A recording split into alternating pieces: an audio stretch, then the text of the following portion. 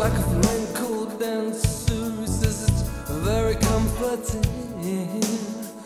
Looking forward to tomorrow, it's the horseshoe in the glove, rubbing salt in the wounds. It's the words that are difficult.